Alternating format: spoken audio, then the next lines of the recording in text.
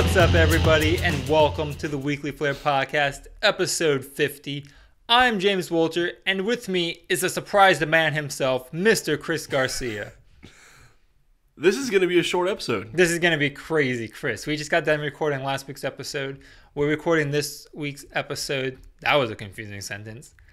And uh, this is probably the most unprepared we've been for an episode, but yet the most prepared because we've really been preparing for this episode all year. Yes, if we you think have. about it. Mm-hmm. This episode is going to be our like standouts of the year. We've done very minimal research on this, mostly just fact checking kind of things. Um, this was the things that stood out to us this year: movies, tech, video games, TV shows. I tell you, no TV shows for me because I didn't really watch any new TV shows this year. But Chris says he did, so we'll see what he has to say about that. Yes. Yes, you, that's what you told me. Yeah, yeah, sure. Okay. We'll figure it out. Um, so this episode's gonna be that, and we hope you like it. It'll be so fast, dude. It's going to blow your mind. It's gonna be the craziest year in review that you're gonna hear because um, all the other tech people that are doing this probably prepared better throughout the year for it, and we just jumped right in with no notes of our thoughts throughout the year, which next year we will do Mhm. and keep better notes. So this episode next year will be a lot better. But this is for the people who are like the diehards and just love watching us make fools of ourselves, What you should have done, which is basically us. you should have done is pulled different segments from each show that were really, really, really good and pieced them together. Yes, that would have been great. But you don't have time. if. I had the The time. time. to do that. But I also work for a living. True. And if this was my job, I would do that, like most people would do for Mm-hmm. their job, to make a sweet year-end review. Um, I would have had to start like a month ago to get all the clips together. How I, I mean, wanted. if you piece five seconds, you're already ha- five seconds each episode. What is that? Already uh, two minutes and two minutes and fifty seconds, I don't know. something like that. So I mean, We could have done some crazy stuff. Yeah. And next year maybe we'll try. But this year, this is what we're doing. So, Chris, what do you want to start with? Movies? yes, Let's start with movies. we've already had the list up. We got the list up. So, Chris, let's say top three movies this year. Um, I'm gonna say since I watched Star Wars, Okay. uh, Jurassic World. Mm-hmm. Um, that is really hard to say. That I really want to see the Hateful 8 Mm-hmm, Um, man, I don't. Because I didn't really see a lot of movies that, this year. Oh, Chris, you didn't see a lot of movies. No, I can tell you. You're right. You didn't see No, a lot of I, movies I've been very year. busy. Um, yeah, I'm gonna say those. Uh, because I really need to see Ant Man still. Oh, Age of Ultron. Okay, so Star Wars, Age of Ultron, and Jurassic World. Age of Ultron came out this year. Mm-hmm. Really? I thought Ant Man was only. Oh yeah, A- Age of Ultron was this year. Yes. Okay, so you're saying Star Wars, Jurassic World, and Age of Ultron? Yes. Okay, that's a good list. Those got all very well reviewed. All right, here's what I'm gonna say. I'm gonna caveat this with my anticipation for Star Wars has been building up for the last two years. So, I will admit, not the best movie that came out this year, objectively. Uh huh. Objectively, while it was in the top of the best movies this year, objectively, probably was not as good as, say, like The Martian or Mad Max. Surprisingly, got really good reviews. Although I think Star Wars was a better movie than Mad Max, but I didn't see Mad Max to say that for sure. I am going to say, however, my favorite movie to watch this year, the one that I enjoyed the most, was Star Wars. And the reasons for that go beyond the scope of this episode. But that was my favorite movie to watch this year. Most enjoyable for sure. The Martian. That movie was great. Are you sensing the theme here of the sci-fi ness? Yes. Okay. The Martian was a very good movie, like I said. Um, if I had to say, it probably is a very close tie, even for me personally, with Star Wars, just because it was just done so well. Uh, it was just a it was a good movie, Chris. You really should have seen it. I will. I know Interstellar probably blew your mind so much that you never want to watch another space movie again. But it was 2014. right. That was such a good movie. It was. And The Martian was really good.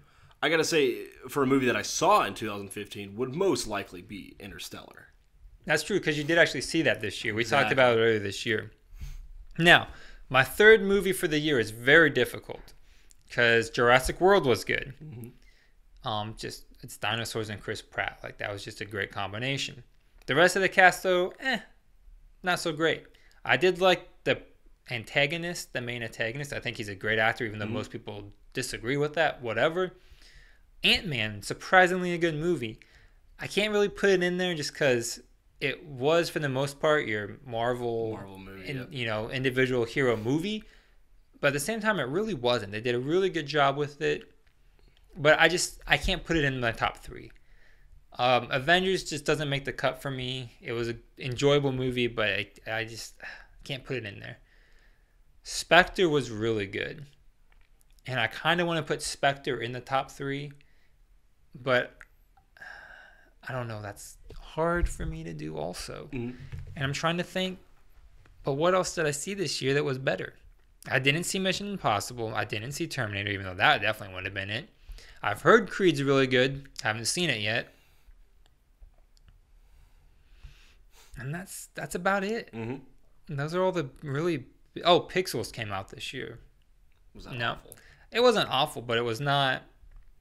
So that being said, I think I'm gonna go Star Wars, The Martian.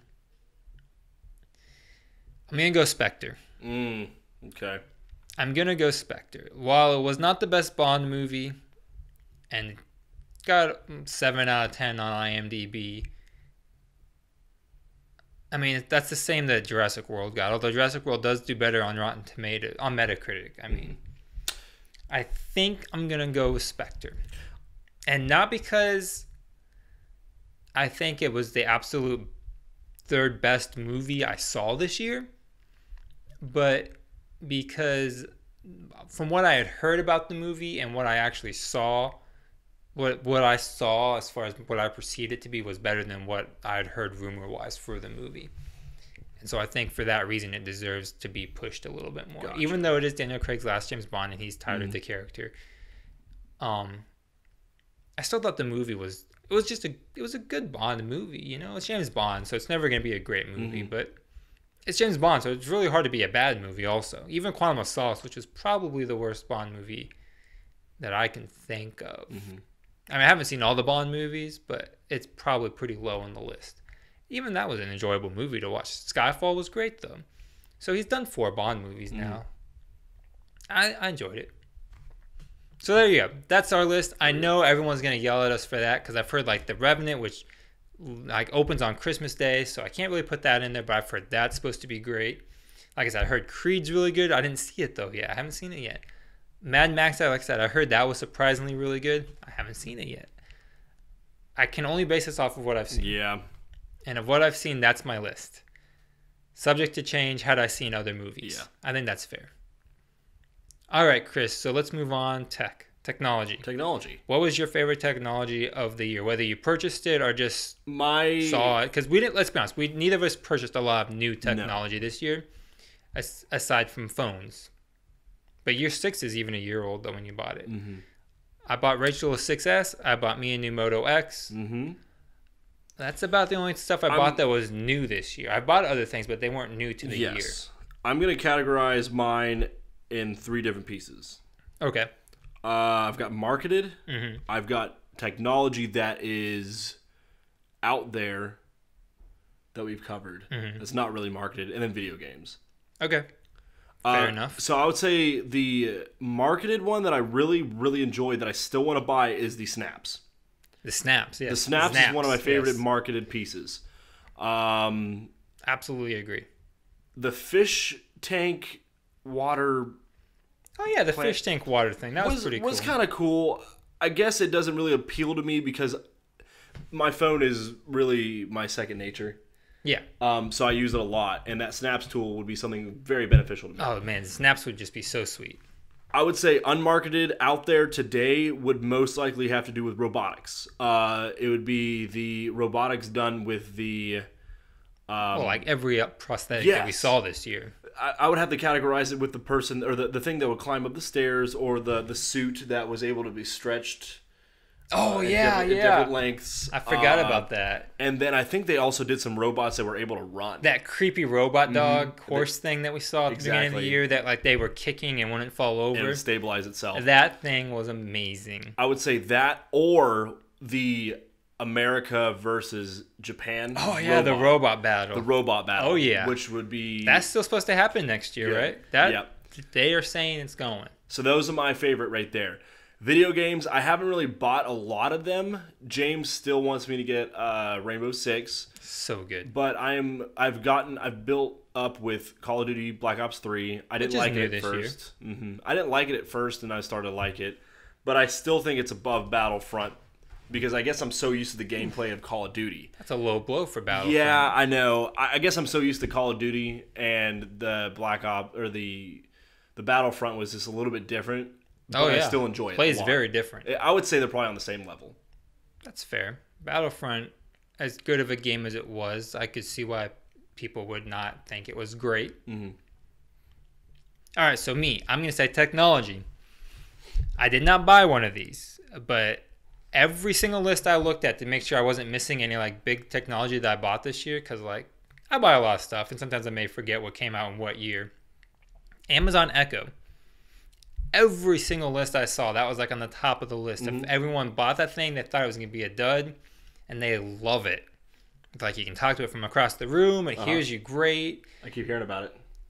everyone that I mean, I say everyone, and by everyone I mean like all the websites that I've seen talk about it in the last couple days, doing their like year wrap ups, have absolutely loved this thing, and it makes me kind of want to get one. You should get one just to see how it is, and if Like- you buy one, I'll get one. Everyone's like, it's a, it's like a Bluetooth speaker. They said now, obviously the sound quality is not going to be as great as like your Bose headphones or your, I was going to say your Beats, but I don't think those are really that great. Like your Sony nice studio headphones, you know, none of those like big over the ears Yeah, are gonna sound better than this Bluetooth head than this Bluetooth speaker. But they said it works great, and uh, it's very responsive, and apparently you can talk to it very natural. Unlike Siri, apparently that you still have to. I th- I feel like when I use my when I use Rachel's phone and then her Siri, I feel like I can talk to it normal. I feel like I can talk to my phone with Google Now very uh-huh. normal, or with Moto X very normal. But Speaking of, speaking of, it's going to turn on because I said the phrase, but I don't know that people have just said with the Amazon Echo, it makes you realize how unnatural you still have to talk to mm. computers, and it, it makes me want to get one. So we'll see. Of course, snaps those phone connectors that turn all the plugs into the same plug, and it's magnetic and so cool. I do still want to get those. I haven't forgotten about them.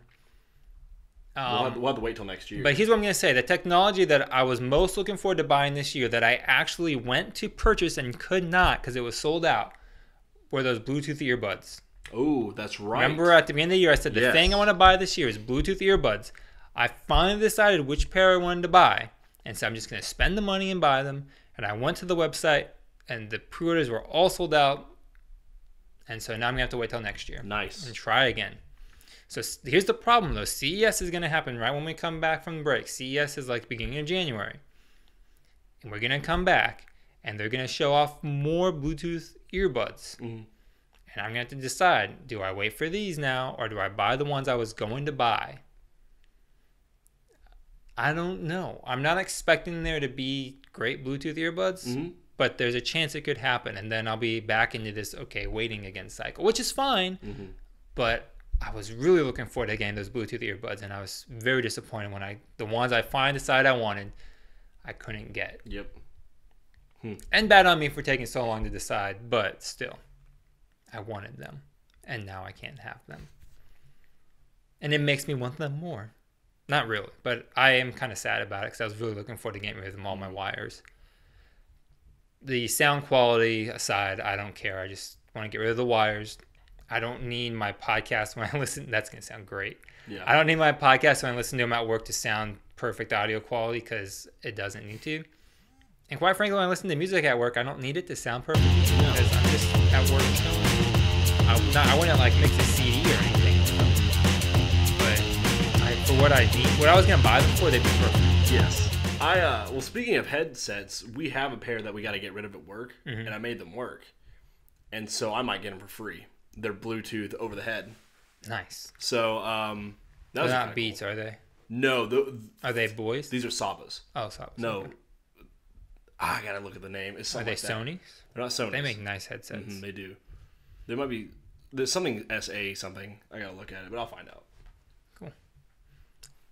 Um, where was I? Technology. Yeah, so that's the technology for me. Mm-hmm. Yeah. Like I said, I didn't buy. I mean, I bought my my new phone, Mm. my Moto X Pure Edition.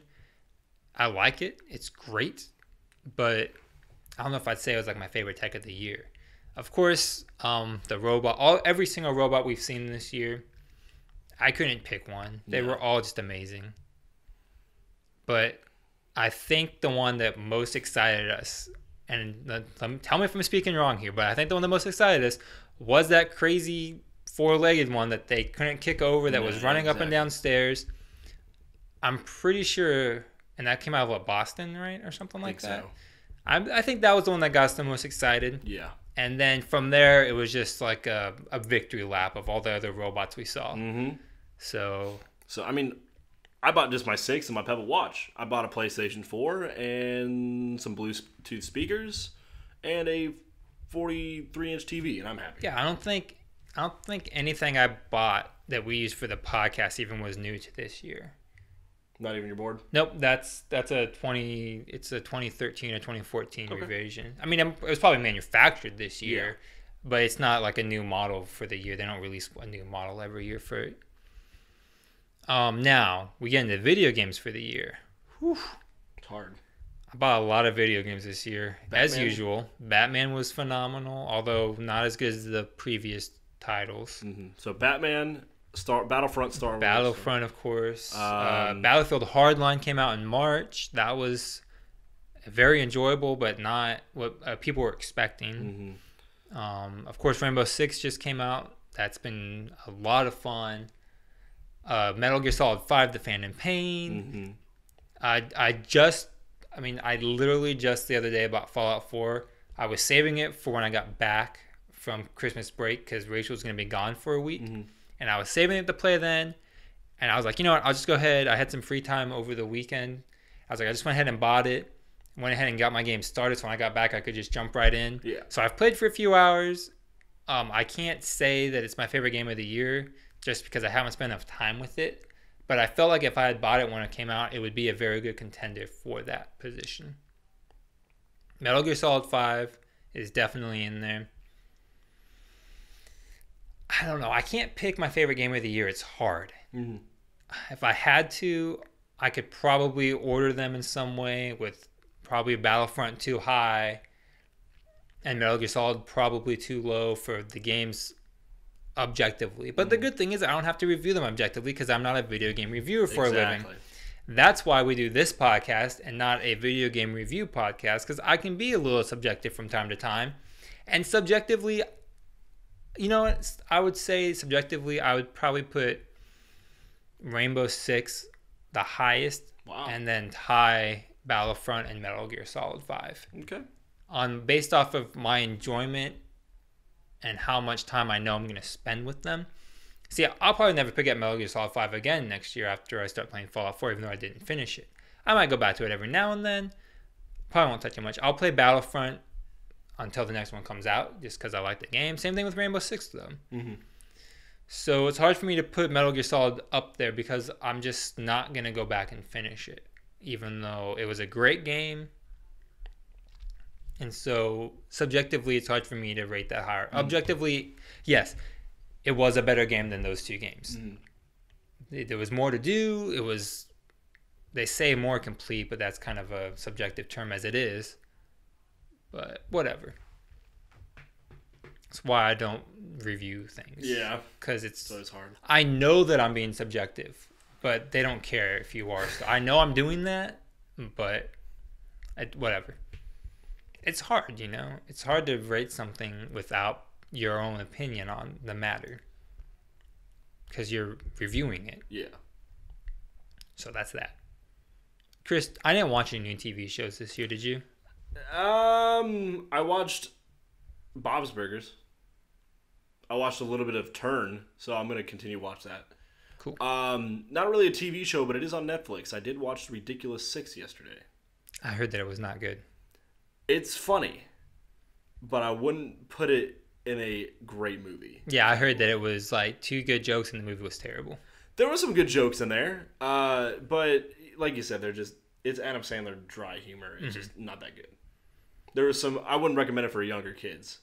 Well, yeah, No, it's Adam Sandler. that goes without saying. Exactly. But other than that, I mean, that was about it. Cool. Well, Chris, what do you say we wrap this up because we've been doing this for a lot longer than either of us expected to. Exactly. Which we knew would happen. But we do want to keep it into one part, so we're going to get on out of here. Thank you guys for joining us this year. We really hope that you've enjoyed this wonderful project experience that we've called the Weekly Flare. Don't worry, we will be back next year and it will get better We are excited to see what because it has to because we do it every week. So how could it not get better? we're excited to see what happens next year. What people will bring in technology, advances of what we've reviewed last Yeah, year. Yeah, we get a kick off with CES. So Yes. it's basically right back where we started. uh, upcoming movies, and I think for our year, uh, when our year anniversary comes up, we still need to do the cinnamon challenge. Yeah, we should. Yeah, we need to. We need to do it. We should do it with all of our previous guests and get them. We do the actually we should. Challenge. Yes, we should. That is a great idea. We'll have to talk to them and see if we can get them all to come back. That's a good idea. I think we can. Okay, perfect. All right. Thank you guys so much, and we'll see you guys in 2016. Peace.